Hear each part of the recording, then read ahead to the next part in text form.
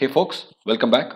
In the previous session, I introduced you uh, with how do we install Streamlit, what is it, all those kind of simple uh, stuff I have explained. And I have also taken you through the Streamlit homepage and I have shown you the demos that were already available there. Now it's time for us to build a very simple web application with Streamlit. I'm going to take you through a very simple web page construction with Streamlit and it's going to be expanded step by step and by the end of the session you would have completely understood how do we start with Streamlit. That's the target and you can try this out in your machine and only thing that you need is to you must have already installed Anaconda and over and above it as I told you already Streamlit should have been installed. Let's go ahead with the process of creating a very simple web page with Streamlit. Make sure that you are in Anaconda prompt, normal command prompt won't work. Let's open a simple idle page. We are going to open a simple Python file. We are going to create a simple Python file. Import Streamlit as st, st.title. This is the title that I want on the web page. Welcome to my YouTube channel, Shriram Vasudevan.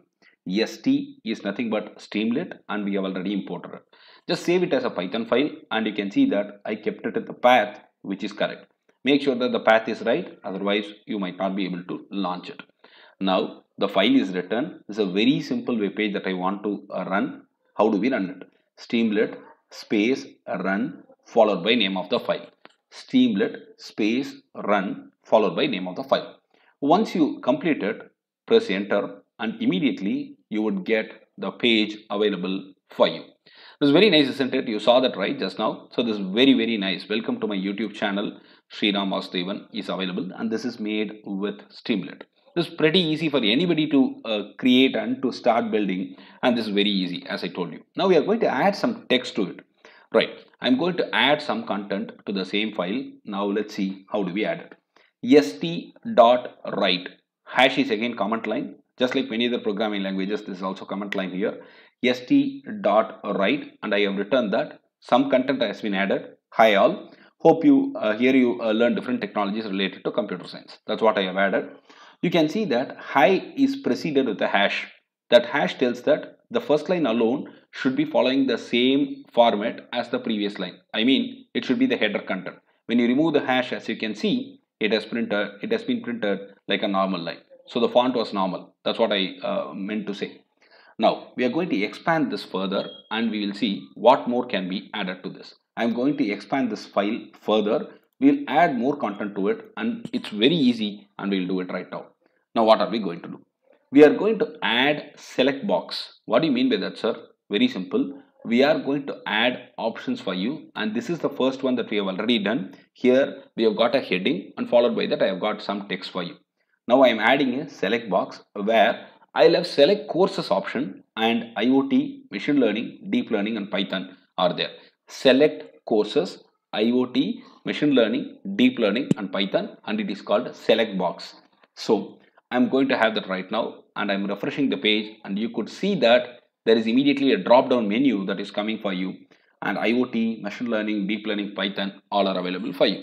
It's so simple. Now what am I going to do? I'm going to assign this to a variable.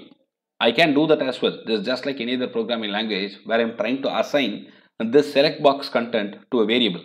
Now I do that. I have a variable by name course name and I'm going to run it right now refreshing is sufficient.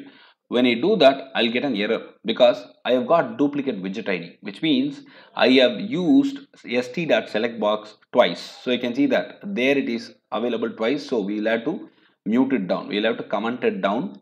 The first one is commented and the second one is kept alive. Now I am going for a refreshing again. Now you see that I have got clearly available with the options. Now I have got it assigned to a variable. So assigning assigning to a variable is the first step, but we need to print which course is selected has to be printed. So that's what I'm doing right now. So when I refresh, when IoT is selected, IoT is printed. Similarly, I'm going with machine learning. Machine learning is printed. Deep learning is printed. Python is coming right now. It's easy, isn't it? So st.write, as I told you in the earlier uh, demo, st.write gets it printed. It's very fast because a Streamlit cache things which helps to run the application really faster. Now I'm going to move it to the sidebar. Instead of you having it in the main page, can I have a sidebar option? Yes, st.sidebar is used for that. Now you can see that I've got sidebar available with me and all those are running fine. Now you have seen that st.sidebar.select box. Now I want subbars sub selection option. There should be a sub menu option inside the main menu.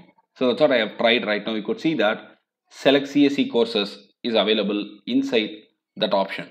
So you can see that here. So course name is available and further you have got CSE course name available there where I can select CSE courses. So you can add widgets so easily with this approach and that's what I have told you.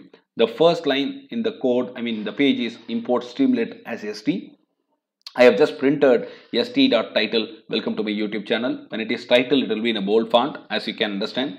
Then I'm writing some content to it st.write and then I created a select box. The select box content is then assigned to a variable. Then I printed that on screen and then I created a sidebar. The sidebar is easily it can be easily created with st.sidebar.selectbox option and select courses will get you all those menu available for you. And then if you want another thing to be added another something to be added over there so CSE course name can be added and it will appear next to the first side box. So CSE course name equal to st.sidebar.select box and select CSE courses can be given over there and further content further menu items can be given over there.